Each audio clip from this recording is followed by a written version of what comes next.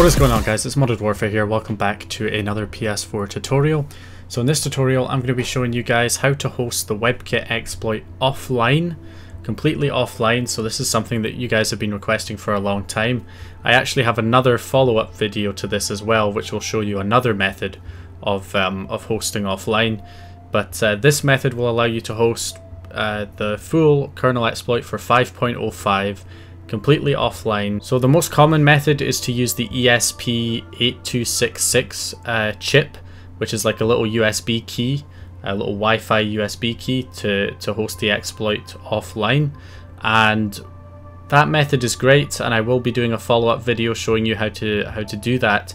Uh, but this method, you do not require that little uh, Wi-Fi chip. You don't have to buy anything extra for this method, which is what makes this method so so popular.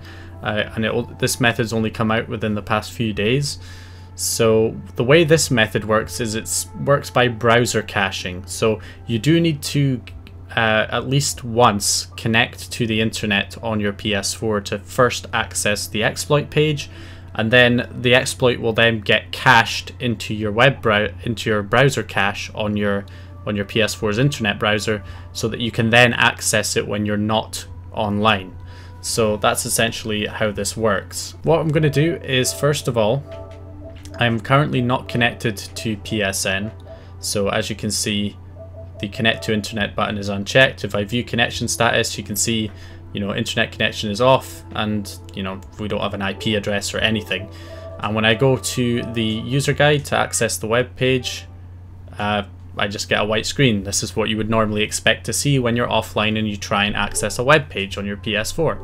So what we need to do is we need to first connect to the internet and set up an internet connection. So that's the one disadvantage really to this method. Well, one of the disadvantages to this method is you do still initially need to connect to the internet just just once in the beginning in order to cache the web page.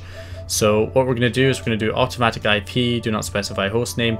Now for the DNS settings, you want to go manual DNS and put in this IP address 108.61.128.158 and that's what you want there. Now, if that if if that um, website is down on that IP address, there's a second server uh, that you can go to, which is 165.227.83, uh, and finally point uh, 145.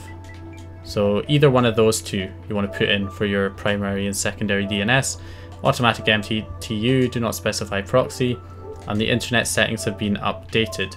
Now you don't actually have to enter those DNSs, you can just go with an automatic DNS if you're trying to do this through the internet browser, but um, for people who don't have access to the internet browser, you're going to have to put in that as your DNS so that you can access the web page from the user guide. So now when we go to the user guide, we get this, and what it's doing right here is it's caching the exploit. And this caches the whole exploit. So this is caching all the payloads. Um, in previous, uh, well, like when this method was first discovered, you had to like load a payload first in order for it to be cached. But this process, what it's doing right now is it's caching all the payloads so that we'll be able to run them all offline. So there we go, application cache successfully. Click OK. And that's it. We should now have access to all of these offline. So all I have to do now is if I back out of this, now that we've done that, and we go back into settings, we go to network, and we uncheck connect to internet. So as you can see, we have no IP address, nothing, completely offline right now. And, you know, if I go to user guide, so I still get an, like an error caching resources, and this cannot display a web page. But after that, you can see that the web page has loaded even though we're completely offline right now. And I can go to 5.05 and load one of the payloads. Let's do original, which is just waiting for payload, just to show that multiple payloads work. So, I mean, yes, not enough free system memory, that happens. There we go, waiting for payload. So that one works. Um, and then we can also go ahead and load a different payload. So 5.05, let's do homebrew enabler. Done, HEN's activated, and that was completely offline and now these are unlocked and our debug settings will now be enabled in the bottom of the settings. There you go. So completely offline solution. Now you can do the same thing with the internet browser if you have access to the internet browser. So let me just show you how to do it till we reset again, connect back up to the internet and we'll clear our system cache and I'll show you how to do it through the internet browser this time. So we'll clear website data, clear cookies, that wipes the cache, clears it completely. Now that we're connected to the internet, we would go to the internet browser instead, and then we would just type in the IP address into the internet browser. So instead of instead of adding it as a DNS, if you have access to the, the web browser, you can just put the IP address uh, into the URL bar and go to the web page, and then it will start downloading the cache, just like it was doing using the user guide method. And here we go, so just about done. There we go, it's fully cached now. And now that it's fully cached, again, I will disconnect from the internet. So we'll go to network, uncheck connect to internet, so that we're offline again. And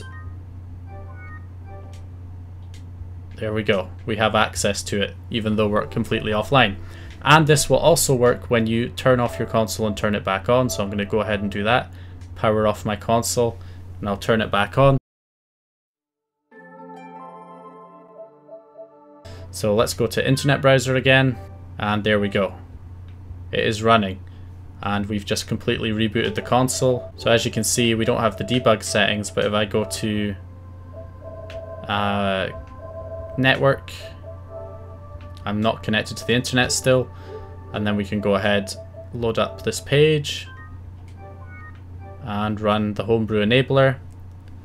Hopefully it doesn't shut off my console because that can happen sometimes with this thing.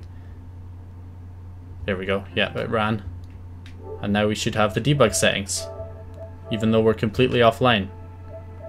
How about that? So this offline solution is great because you don't have to spend any money on the little Wi-Fi key, the USB key thing that you had to do before. Um, it just runs completely from the browser cache, which is great. Uh, however, I will be doing a follow-up video to this showing you how to also do the method where you use the little USB key, um, uh, the little Wi-Fi chip. And the reason for that is that method I would say is slightly better if, if you don't mind buying the little Wi-Fi chip for you know $8 then it does offer some advantages to this method. So the problem with this method is you do have to initially connect to the internet or at least do the uh, the localhost uh, method in order to first access the, the exploit page initially so that you can then cache it.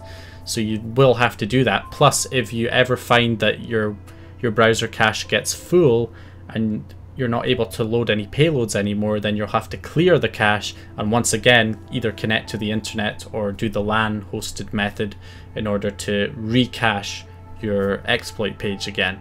So it's not a flawless solution. The whereas with the Wi-Fi chip, you can be completely offline and never ever connect to the internet whatsoever. Uh, with the little Wi-Fi chip method. Plus, with the Wi-Fi chip method, you can connect a computer to the Wi-Fi chip as well as the PS4 so that you can then take advantage of like the FTP payload to transfer files back and forth, which you can't do with this method if you're uh, if you have it offline uh, you can't connect a computer to it because it's running from the browser cache, no network connection whatsoever. So um, yeah, there's there's trade-offs with each method. Hopefully you'll stay tuned for that uh, for that other video as well. And uh, yeah, hope you guys enjoyed this one. If you did, go ahead and leave a like and subscribe, and I will hopefully see you guys in the next video.